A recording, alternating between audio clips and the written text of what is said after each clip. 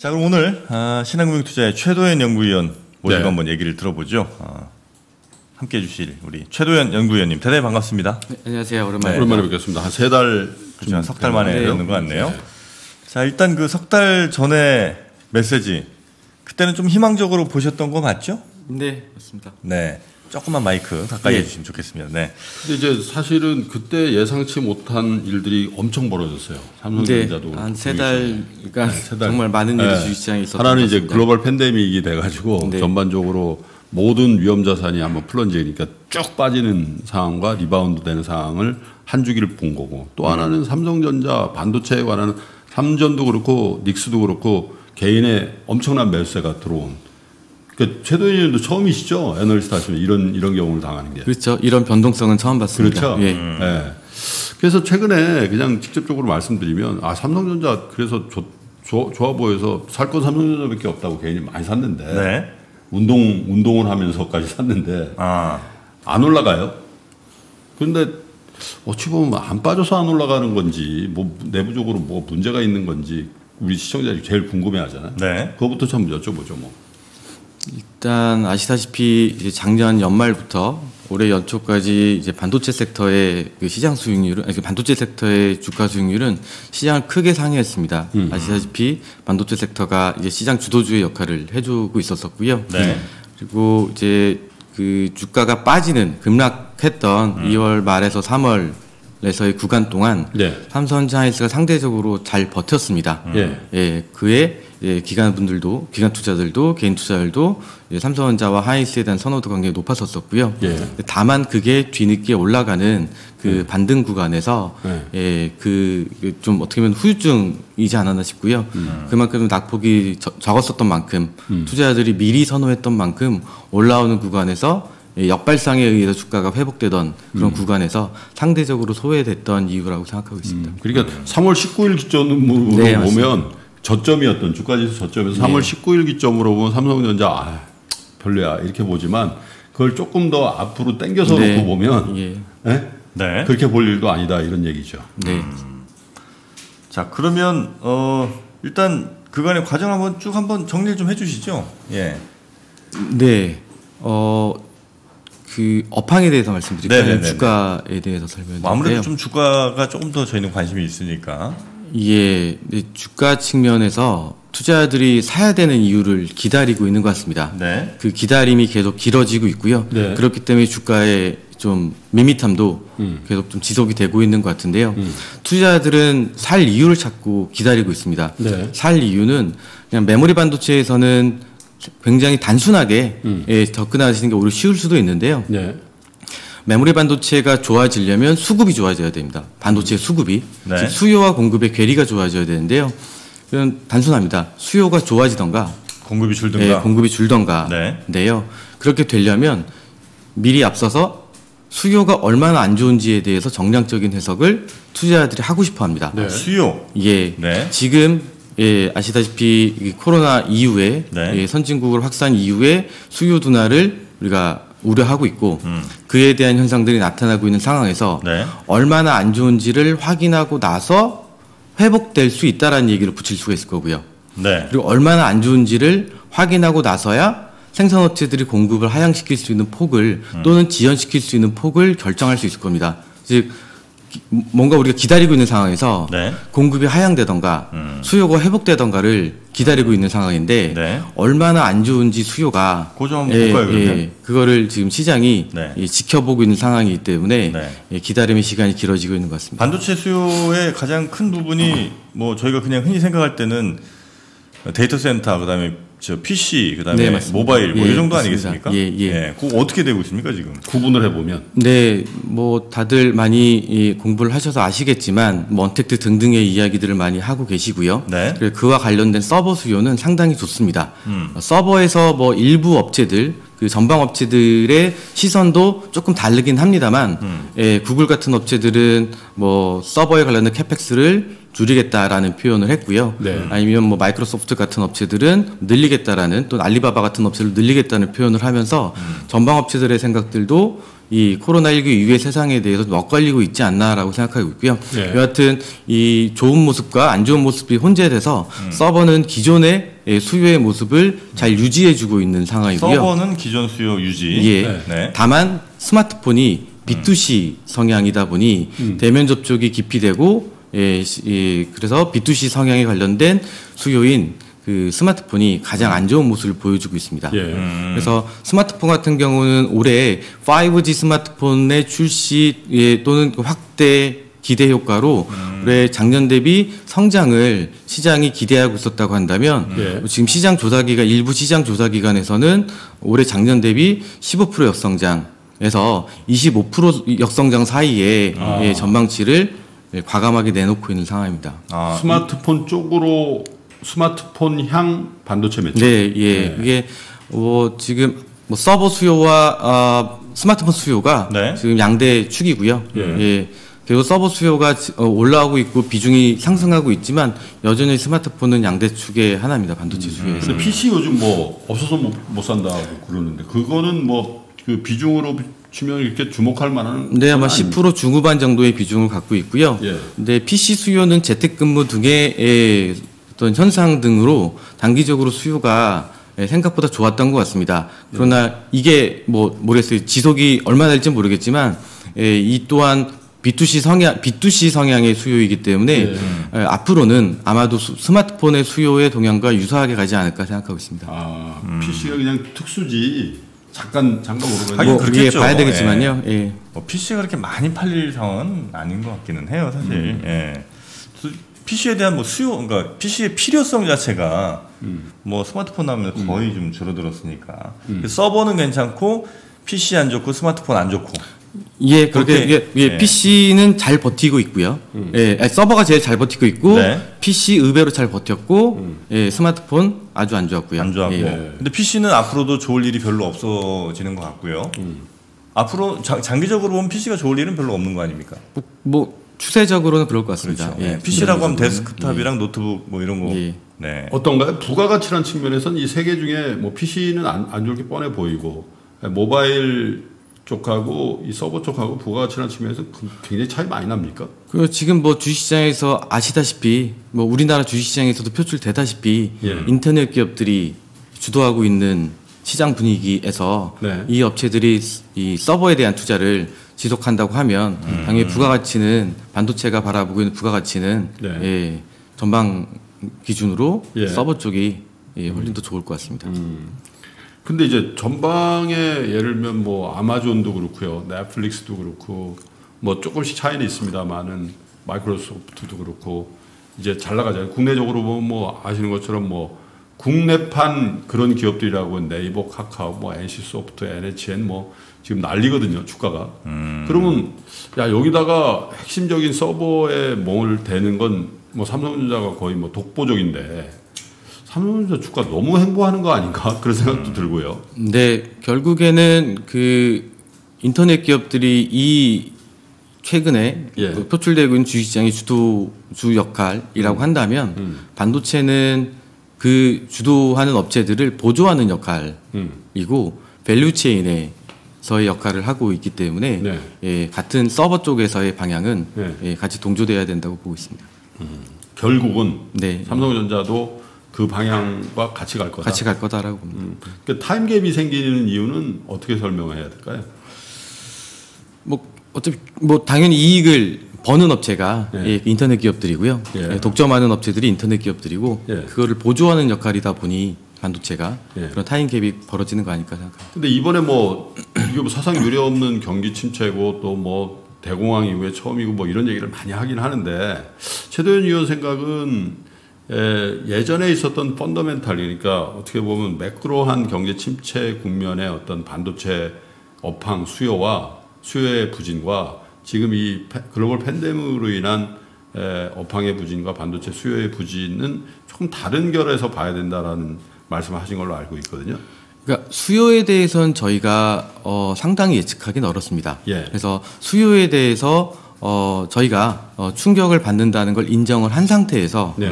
공급이 어떻게 위치하고 있느냐를 예. 접근하고 있고요. 예. 결국 어, 앞서 설명드렸지만 그리고 기존에도 계속 설명을 드렸지만 메모리 반도체의 방향성은 수요와 공급의 괴리이기 때문에 예. 예, 과거에 저희가 봤던 macro의 충격 시기와 예. 예, 공급의 위치, 공급의 상황을 비교하면서 예. 앞으로의 메모리 반도체 의 산업이 음. 어떻게 갈 것인지를 네. 좀 접근을 하고 있다고 보시면 될 것 같고요. 공급이 그 전보다는 좀 더 타이트하게 컨트롤 될 수 있다라고 보시는 거네요. 그럼. 그렇죠. 예. 그리고 이미 그렇게 되어 있고요. 예. 그래서 이에 대한 질문이 가장 또 중요한 질문인 것 같아서 네. 좀 시간을 할애해서 예. 저희가 좀 그 준비한 예. 그 차트를 네. 예, 말씀드리면서 네. 예, 비교를 해서 설명드리고 싶은데요. 몇 페이지를 보면 될까요? 일단 수요에 대해서 설명드리고 싶은 거는 예. 5페이지. 그러니까 이게 저희가 어, 지난 주에 예, 정식 보고서로 발간한 네, 새로운 리포트 예. 내용이고요. 네.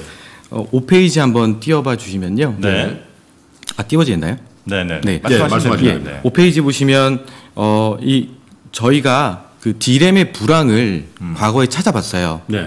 어, 18년, 19년이 있었고요. 네. 그 전에 15, 16년이 있었고요. 예. 그 그리고 11, 12년이 있었습니다. 네. 그리고 08, 09년이 있었는데요.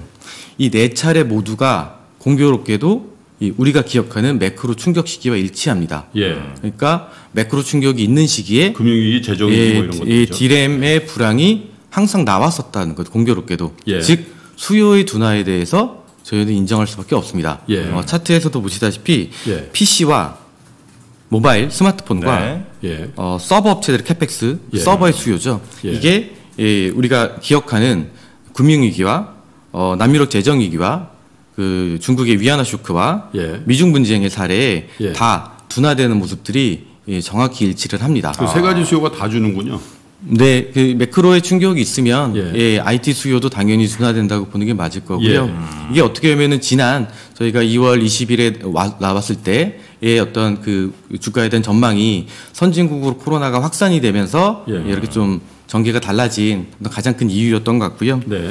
그러면 이제 이 수요에 대한 부분에 대한 걱정을 하면서 예. 투자자들은 고민을 많이 하고 있는 것 같습니다.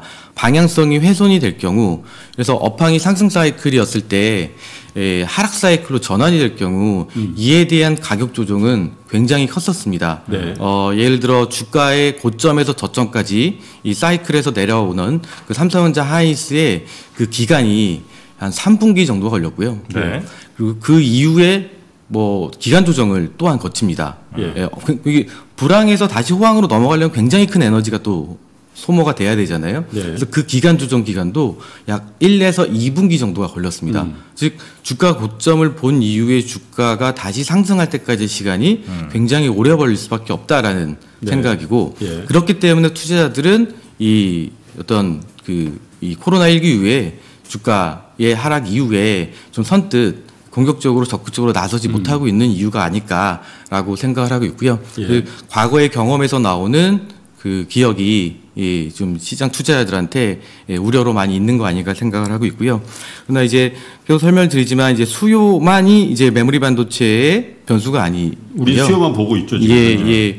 가장 중요한 또 변수도 공급입니다. 네. 어, 메모리 반도체가 지난 두 번의 빅 사이클, 슈퍼 사이클을 봤었던 이유는 수요가 아니거든요. 그러니까 네. 수요의 성격이 달라지긴 했지만 이 역설적으로 수요 성장률이 둔화된 상황에서 음. 생산업체들의 공급에 대한 전략이 바뀌면서 나온 예, big cycle이고요. 그래서 음. 네. 공급에 대한 내용을 훨씬 더 면밀하게 예, 봐야 될 것 같은데 어떤 네. 차별점이 있는지 좀 설명해 그래서. 저희가 어, 어 11페이지 네. 예. 한번 디램, 봐주시면요. CAPEX 예. 추이 뭐 이런 거 예, 그래프가 나오고 좀 있군요. 있네요. 그래서 예. 지난 그 과거의 네 차례의 디램 불황은요 수요가 당연히 둔화됐고요. 코로나 19에서도 당연히 저희 수요 둔화 나올 거라고 인정합니다. 네. 그러나 그 차별점은 다른 점은 과거의 사례 모두 다 캐펙스가 증가하고요. 예. 대규모 증설이 단행이 되고 그게 생산화되는 시점에 수요 둔화가 있습니다. 예, 수요 둔화가 나왔습니다. 그러니까 공급 확대가 되는 무렵에 수요 둔화가 왔다. 네, 예. 그러니까 즉 캐펙스의 증가는 어, 우리 괜찮네. 이익도 많이 벌었으니 예. 예, 이제는 투자해도 되겠네라고 행동을 하고 네. 그게 한 두세 분기 이후에 생산화가 됩니다. 음. 예, 즉 생산화된 시점에 예상하지 못했던 투자할 때 시점에 네. 에서의 그 시각은 예, 당연히 다르겠죠. 네. 그래서 차트를 그래프를 보시면요. 예, 예. 보시면 아시다시피 그 과거의 하나 하나 이제 사례들을 좀 살펴보면요. 네. 2007년도에 어 이게 엄청난 그 증설이 있었죠. 치킨 게임이 예. 있었던 시기고요. 맞습니다. 예. 이때 그 이때 이제 예, 이 사이클에서 상당히 많은 업체들이 예. 나가 떨어지고 예. 어떤 이 독점 독과점 시장으로 진입하게 된 계기가 다 맞습니다. 예, 이 네. 사이클이었고요. 그래서 2007년도에 당시 역사상 최대 수준의 캐펙스가 디램에만 나오고요. 전 세계에 210억 불이 투자가 됩니다. 네. 디램에만. 그리고 2007년도에 캐펙스가 2008년도에 생산으로 연결되고 그 생산이 나오는 시점에 예, 수요 둔화가 나왔었습니다. 이게 이런 모습을 확인할 수 있고요. 네. 12페이지 봐주시면요. 네. 예. 여기서도 보시면 아시겠지만 2010년도에 CAPEX가 다시 급증을 하고요. 예. 2010, 더 밑에 차트입니다. 네. 그 동일하게 이제 CAPEX 네, 요- 추이와? 예, 비- 예, 맞습니다. 어, 그, 아닌데요? 그 밑에입니다. 예, 어, 이, 네 맞습니다. 그거 맞습니다. 예. 예. 거기서 동일하게 보시면 예, CAPEX가 10년도에 급증을 하고요. 음. 그리고 그게 생산화되던 11년도부터 수요가 둔화되기 시작했습니다. 예. 여기에 이제 예, 뭐, 미, 뭐 남유럽 재정위기가 엮이죠. 예. 그리고 14페이지 봐주시면요.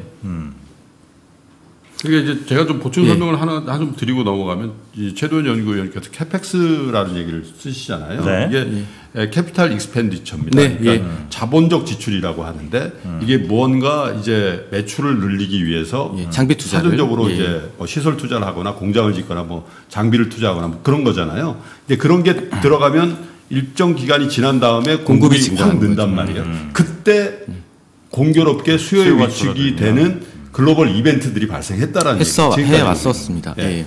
그러니까 즉 캐펙스 그 장비 투자는 네. 일시적으로 두세 분기 뒤에 음. 한 번에 크게 올라오는 공급 증가를 만들게 네. 되고요. 예. 예. 그리고 14페이지도 한번 봐주시면요. 네. 예. 이때도 14년도에 예, CAPEX가 대규모로 집행이 되고요.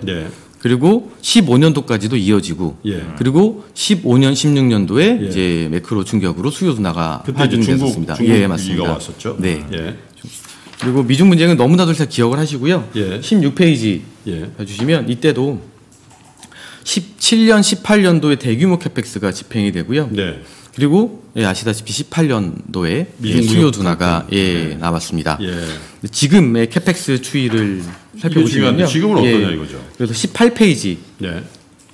2018년도에서 2020년도에 최근에 예. 이 CAPEX의 흐름을 보시면요. 예. 계속 둔화되고 있습니다. 아, 계속 내려오고 있고요. 얘기죠. 예, 그리고 이 CAPEX 금액의 상당 부분, 대부분이 지금 예. 장비 투자가 아닌 예. 예, 미래 기술에 에 대한 대응을 위한 예. 예, 인프라 어, 시설 인프라 투자로 되고 장비 투자로 집중되는 게 아니라 예. 인프라 투자로 집중이 되고 뭐가 있습니다. 다릅니까? 장비 투자와 인프라 그러니까. 인프라는 그냥 팹을 짓는 거고요. 음. 예, 팹을 짓는 거고 뭐 클린룸 짓는 거고 거기에 이제 시설 투자가 들어가면 예, 장비 투자가 들어가 장비 투자가 들어가면 예. 예. 2, 3기 2, 3분기 뒤에 바로 예, 공급으로 산출이 되고요. 예, 길어진다는 얘기인가요? 투자 기간이 인프라 투자라는 건? 이거는 좀 깊은 이야기인데요. 과거 대비 공정 기술이 어려워지고 있는 만큼, 음. 예, 어려워지고 있는 만큼 캐파 증설이 요구량이 늘어나고 있습니다. 네. 그래서 동일한 수요에 대응하기 위해서는 아. 더 많은 투자를 요구받고 있습니다. 예. 그래서 어, 미리미리 준비해서 예. 팹을 미리미리 예. 예, 짓고 있는 삼성전자 하이닉스의 모습으로 음. 뭐 생각하시면 될 것 같습니다. 그거는 양의 증가라기보다는 질의 질의 증가를 위한 투자라고 뭐 그렇게. 예 생각할 수도 예. 있을 것 같습니다. 미리 미리 갑자기, 준비를 해놓는 갑자기 2, 3분기에 예, 공급이 확 늘는 그런 투자가 아니고 예, 예, 예. 그렇군요. 그래서 그걸 구조적으로 한번 그 지금까지 설명드렸던 내용을 비교를 한번 해보면요. 네. 18페이지에 있는 밑에 그래프 두 개를 네. 같이 좀 띄워주시면 비교가 잘 될 것 같은데요. 네. 10몇 어, 페이지죠. 자, 공급 18 페이지. 증가 후에 예. 수요 둔화된 경우 반도체의 네, 수급 맞습니다. 예, 맞습니다. 예. 공급 여기 하향 시 예, 이거를 네. 두 개를 같이 띄워주면 좋을 것 같은데요. 네. 이제 과거의 사례들이 네. 이제 왼쪽 그래프의 모습이라고 한다면 예. 지금의 모습은 오른쪽 그래프 라고 생각하는 거고요. 예. 즉 왼쪽 그래프에서 보시면 수요가 좋고 공급 부족일 때 네. 캐파 증설이 나오겠죠. 예. 그리고 그 캐파 증설이 단행이 되면 장비 발주가 들어가면 예. 한 두세 분기 뒤에 생산이. 되겠죠. 네. 딱그 타이밍에 수요가 둔화됐었습니다. 네. 그래서 수요 둔화의 기울 수요의 기울기가 낮아지고요. 예. 그럼 지나보면 다시는 올라오겠죠. 그러나 기다림의 시간은 길어진다. 굉장히 길 수밖에 없었고 네. 때문에 아까 설명드렸지만 그런 구간에서의 주가의 낙폭은 굉장히 컸고 예. 거기서의 기간 조정도 상당히 길었었고 예. 그래서 주가가 다시 올라갈 때까지의 고통이 상당히 컸고 길었었던 모습이었다고 한다면 네. 지금은 저희가 수요 둔화를 인정한다 하더라도 예. 그래서 그 수요 둔화의 어떤 기울기를 지금 당장 예, 지금 수요 충격이라고 표현한 그 화살표 내외 저희가 있겠죠. 예. 그 부분에 있다 하더라도 지금 다행히도 삼성전자 하이닉스가 장비 투자를 진행해 놓고 있지 않았기 때문에 네. 예, 기다리고 계속 기다릴 것이라고 생각하고 있기 때문에 네. 예, 공급 부족은 방향성은 유지가 되되 네. 다만 속도에 대한 예. 어떤 고민만 지금 단기적으로 하는 상황이라고 보고 있고요. 네. 근데 혹시 그냥 제가 이제 수요 공급 반도체 관련된 수요 공급해서 조금 궁금한 게 이제 공급이 굉장히 중요하잖아요. 네. 근데 결국 공급 부족이니 공급 과잉이니 이렇게 나오는 것도 모두 수요에 의해서 결정되는 건 아닙니까? 그러니까 수요가 뭐 100에서 200만큼 가면 아무리 뭐 공급이 뭐 어, 100에서 150만큼 가더라도 그건 수- 공급 부족인 거고 네. 수요가 맞습니다. 예. 그러니까 수요가 절대적인 네. 그 그래서 지금도 만약에 그 생산 업체들이 투자를 안 해도 네. 공급은 나옵니다. 즉한약 공정 기술로 나오는 수요 증가, 아니 죄송합니다. 공급 그 공정 기술로 네네. 투자를 안 하고 공정 미세화라고 하죠. 음. 공정 기술로만 나오는 공급 증가율이 연간 빚 기준으로 한 10% 정도는 됩니다. 예. 수요 증가율이 네. 10% 이하로 떨어질 경우 아, 코로나 때문에 예. 공급 초과를 볼 수도 있습니다. 네. 저희가 근데 다만 역사적으로 아직 한 번도 음. 10% 이하의 디램 수요 증가율을 봤던 적은 아직은 없습니다. 그러니까 여러 얘기죠. 충격에서 통상적으로 예. 얘기해서 빗그로스라는 예, 예, 맞습니다. 자연적으로 수요가 네. 증가하는 그 그게 예. 아직까지도 역사적으로 10% 미만은 없었다. 예, 예. 아직까지는 그런데 이제 없었고요. 공급단에서 보면 에, 새로운 CAPEX 투자를 안 하더라도 예. 공정의 어떤 효, 기술로. 효율성 이런 것들을 예. 높이면서 이른바 수율이죠. 네, 수율이 네. 높아지면서 에, 공급 사이드에서도 한 10%는 느니까 10% 이하로 수요가 줄어들면 공급 과잉이 되는 건데 네, 네. 그런 경험은 아직 한 아직까지는 없었기 없다. 때문에 어떤 예. 상황에도 그래서 방향성은 유지되고 있다라고 생각하는 이유고요. 네. 다만 거기서 이제 그 질문하신 네. 수요와 공급의 어떤 그 차이에서 네. 어, 수요가 둔화된다 하더라도 음. 삼성전자나 하이닉스가 돈을 벌겠다는 전략적인 의지를 어떻게 갖고 가느냐에 따라서 이제 이 완전히 판이 달라질 수 있거든요. 음. 네. 그러니까 예를 들어 이렇게 예, 2012년 이전에 예. 우리가 빅사이클을 보기 이전에 예. 예, 마켓시어 상승을 삼성전자 하이닉스가 좀 더 추구를 하던 시절에는 네. 수요 증가율이 높았어도 생산업체들이 이 다른 타 후발 업체들을 퇴출시키기 위해서 치킨 게임이니까. 예, 치킨 가격을. 게임을 하면서 수요보다 더 강한 더 높은 공급을 의도적으로 만들면서 사이클을 유발시켰었습니다. 그래서 네. 삼성 하이닉스로 재편이 된 거죠. 예, 예, 예, 결과적으로. 그렇게 됐고 지금은 수요 증가율이 둔화돼 있음에도 불구하고 예. 예, 과거에 뭐 50% 60%의 빅그로스가 나오던 연간 수준이 아니라 네. 지금은 뭐 15에서 20% 정도의 수준의 빅그로스를 저희가 보고 있는데요. 예. 근데 그때 의도적으로 공급을 늦춰버리는 거죠. 예. 삼성전자 하이닉스가 공급을 계속 후행시키는 겁니다. 네. 내가 돈을 더 벌겠다. 예. 예, 어차피 주기업체 다 죽었어요. 예, 힘들다. 네. 더 만들기 힘들다라는 생각. 계속 의도적으로 늦추면 네. 수요 수요의 공급을 후행시키면서 업황을 만들어갈 수 있다라는 거고요. 즉 당연히 삼성전자 하이닉스도 이 코로나 이슈 등의 매크로 이슈 볼 수는 없겠죠. 예. 그러니까 사이클은 계속 발생을 할 수밖에 없겠지만 예. 어느 정도의 그 수요 둔화에 대한 윤곽을 확인하고 나면 네. 예, 더 많은 이익을 더 벌기 위한 예, 의도적인 좀 전략적인 행위가 네. 예, 여- 예, 후행적으로 나올 수밖에 없을 거다라고 생각을 합니다. 자, 그러면 우리 어, 시청자 그리고 청취자 여러분 위주로 한번 잠깐만 가보겠습니다. 삼성전자 하이닉스 주가 어떻게 보십니까? 자, 삼성전자 주가가요. 네. 에, 1월 20일, 올해 1월 20일에 62,400원이 아마 최고점이었던 것 같아요. 음. 예, 그런데 지금 47,900원이거든요. 예, 그러니까 어떻게 보면 고점 대비하면 얼마 빠진 겁니까? 뭐 한 한 20%, 20, 30% 빠진 거죠. 음. 예. 이 상태에서 그 우리 최도원 의원께서는 계속 사야 된다고 보시는데. 그럼요. 뭐, 뭐, 지금 어떤 수요와 공급의, 괴리 측면에서 공급에 대한 액션을 믿고, 음. 뭐, 이제 가자라는 이제 생각이고요. 음. 그러니까 사, 그, 또 이제 저희가 기관 투자자들한테는 이제 뭐, 상대적인 수익률 측면에서 접근을 많이 여- 말씀을 드리는데요. 예. 시장 대비. 근데 뭐 저희 개인 투자자분들이 이제 좀 시청하시고 있는 상황에서 절대 수익률이 훨씬 더 중요하실 것 같아서 절대 수익률 측면에서의 접근을 저희가 좀 오늘 어, 설명을 드려보고 싶은데 네. 어, 주가가 저점을 봤냐, 음. 어, 적극적으로 사야 되는 이벤트가 나왔냐, 예. 모멘텀이 나왔냐라고 예. 한다면 앞서 설명드렸지만 예, 저희가 그거를 설명드리기는 아직은 빠릅니다. 예. 이게 말씀드렸지만 사야 된다면 사야 되는 적극적인 액션이 모멘텀으로 나오려면 예. 수요가 회복되던가, 음. 예, 아니면 그 공급이 하향되던가, 라는 예, 이벤트가 발생을 해야 됩니다. 두 개 다 없군요. 예, 수요가 회복된다는 얘기를 하기 전에 지금 언, 얼마나 안 좋은지에 대해서 정량적으로 저희가 체크를 해야 되는데 네. 이게 뭐 저희가 말씀드린 굉장히 어렵게도 코로나가 지금 결정을 하고 있는 상황이고요. 어떻게 될지 모르니까. 네. 예. 그리고 공급을 하향시켜야 되는 에- 그 삼성전자 하이닉스 액션이 나오기에도 음.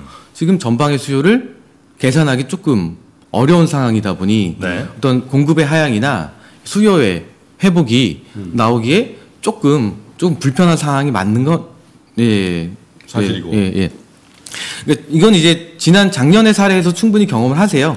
음. 작년 2분기부터 삼성전자 하이닉스 왜 그렇게 빠르게 오르기 시작했냐? 예. 삼성전자 하이닉스 마이크론이 적극적으로 D램 증설 안 하겠다. 마이크론 같은 경우 감산하겠다. 라는 그렇죠. 표현을 하면서 2분기부터 주가가 세게 올라가기 시작합니다. 예. 5월 말에서 6월부터 엄청 네. 세게 올라가기 시작합니다. 그리고 하반기 엄청난 주가 랠리가 나오죠. 예. 3분기에 무슨 일이 있었냐? 수요가 회복된다는 얘기가 나오죠. 물량으로 확인이 됩니다. 예. 그래서 이 두 가지 현상들을 보면서 주가는 세게 올라가는데요. 그러나 하나 또 말씀드리고 싶은 거는 valuation인데요. 우리가 이런 이벤트로 모멘텀으로 접근하기 전에 주가는 뭐 저희의 예상과 달리 저점을 또 잘 찾아가는 모습들을 보여줬었었는데요. 차트로 하나 좀 설명을 드려보면요.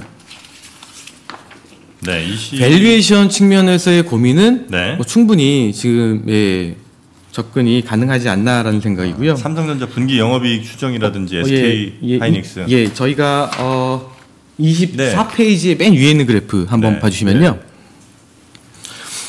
어, 앞서 설명드렸던 저희의 논리를 네. 좀 표현을 달- 바꿔보면 방향성은 유지되고 있되 단기적인 수요 둔화로 일시적으로 속도는 둔화될 수 있다라고 네. 예, 해석할 수 있을 것 같고 표현할 수 있을 것 같은데요. 예.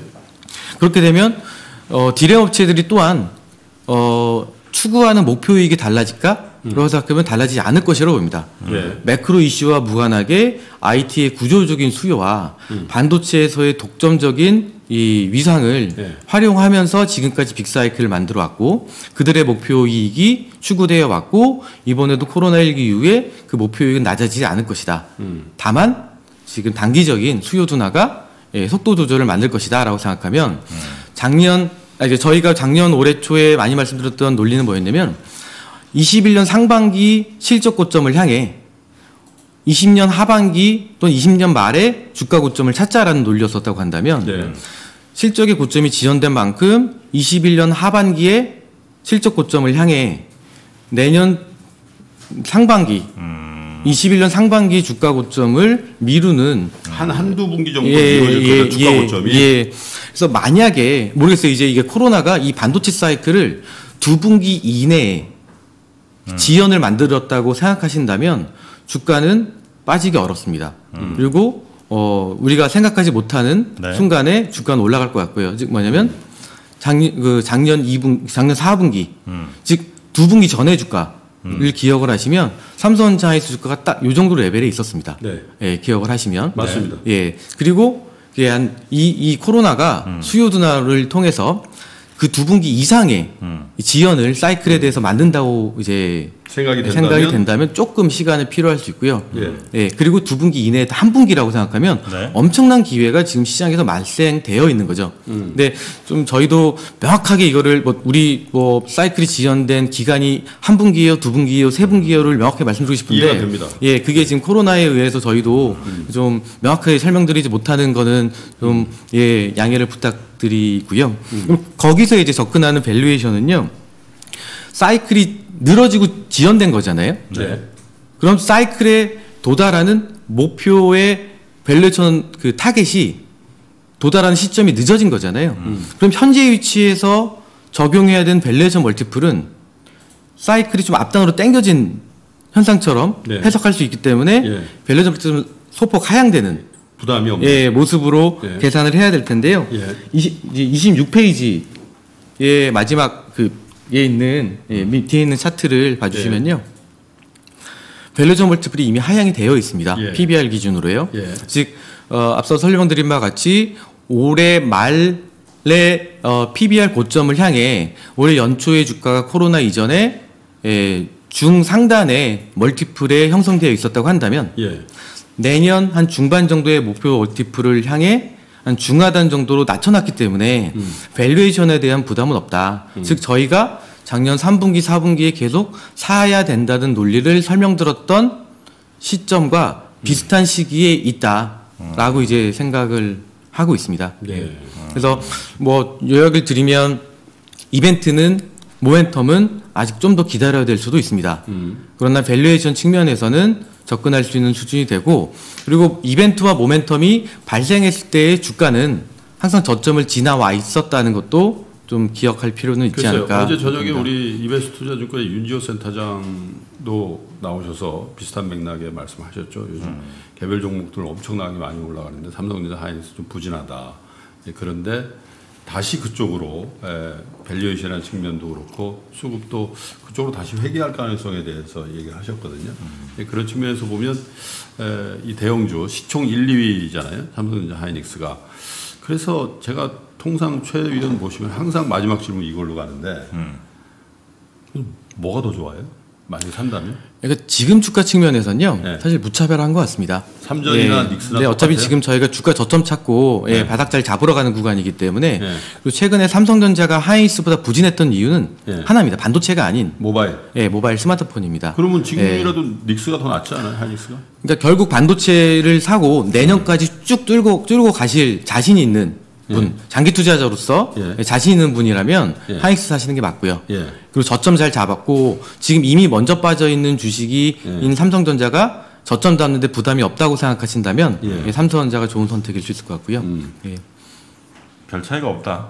근데 지금 뭐, 뭐 올라와 있지 않은 주가에서는 예, 투자자들의 성향에 따라 근데 좀 이제 더 뭐- 리스크를 좀 예, 태우시는 분들은 어, 하이스가 좋을 것 같고요. 업황이라는 측면에서는 이제 대부분 이해가 된 것 같아요. 주가를 좀 마지막 하나 하나만 더 질문 드리면 삼성전자 하이닉스도 일부 들어오긴 했습니다. 삼성전자가 지금 그 수급이 바뀌었다. 개인들이 이렇게 삼성전자를 많이 산 얘가 액면보다는 그, 그 시점 말고는 없었잖아요, 사실은. 그래서 올라갈 때 더디게 올라갈 수밖에 없는 수급의 혼조가 이제 일어나 있다. 이렇게 보는 시각들도 있더군요, 보니까. 뭐 앞서 설명드린 내용과 연관될 수도 있는데요. 어, 떨어질 때 좀 덜 빠졌었고 음, 그 미리 좀 예, 매수세가 음. 어, 진행이 됐었기 때문에 예, 올라오는 과정에서의 매수세가 상대적으로 좀 다른 들어갈 수 있다. 예, 예, 좀 약했었던 이유 아니었가 싶고요. 개인들이 많이 사면 주가에는 어떤 영향이 있습니까 혹시? 솔직히 그거는 그거는 솔직히 제가 예? 그거는 모르겠습니다. 그거는 뭐 통계적인 접근일 거고요. 뭐 제가 설명드릴 수 있는 내용은 아닌 것 같습니다. 아 그렇습니까? 음. 네, 알겠습니다. 자 오늘 어, 삼성전자 시총 이게, 1, 2위. 이게 제일 관심거리인 것 같아요. 삼성전자 들고 있어도 되는지 아니면 더 사야 되는지 아니면 아유 지금 이거 버리고 네이버 카카오 따라 붙어야 되는 건지 이게 음. 제일 관심거리인데 최도현 의원이 굉장히 시사적인 말씀 한마디 하셨네요. 네이버 카카오 삼선 삼전을 버리고 네이버 카카오로 옮겨 탈 일은 아닌 것 같다. 어차피 방향성이 같은 그룹이라고 볼 때. 네, 이미 상당히 수급적으로 투자자들이 진행이 이미 되어 있습니다. 투자자들한테. 예. 그래서 지금은 저희는 기관 투자자들한테는 자신 있게 말씀드립니다.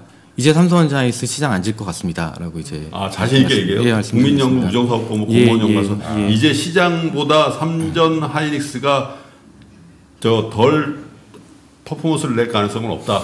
자신 있게 예, 요거는 이제 뭐 시간이 되나요? 저희가 한 말씀만. 예, 예. 그 20, 30페이지에 있는 차트 예. 하나만 테이블 한 번만 예, 보여드리고 실례겠는데요. 예. 네. 뭐 어떤 내용인지 말씀해 주시면 됩니다. 네. 그러니까 삼성전자의 주가는요. 예. 다음에 실적이 증가했을 경우 시장을 진 적이 없습니다. 음. 분기별로 아니 연간으로요. 연간으로. 예, 이 차트를 보시면 아시겠는데요. 예. 그러니까 다, 음의 실적은 왜 증가하냐? 예. 메모리 반도체로 예. 공급을 하향시켰기 때문에 어, 증가하겠죠. 예. 삼성전자가 예, 시장을 이기는 힘은 공급입니다. 예, 공급이 내려와 있으면 다음에 실적은 증가한 항상 증가했었고 네. 예, 요건 뭐 저희가 아마 글씨가 작아서 아마 자료로 올려드릴게요. 모바일로 잘 안 보이실 테니까 저희가 자료로. 페이지 2 앱에 그 신의 자료실에 자료로 올려드리도록. 하겠습니다. 네. 최도현 연구위원은 예, 한 3개월 정도 지난 다음에 다시 한번 예, 모시, 모셔서 또 팔로우를 한번 해보는 그런 시간을 갖죠. 네. 자 오늘 함께 해 주신 최도현 연구위원님 대단히 고맙습니다. 감사합니다. 네 고맙습니다.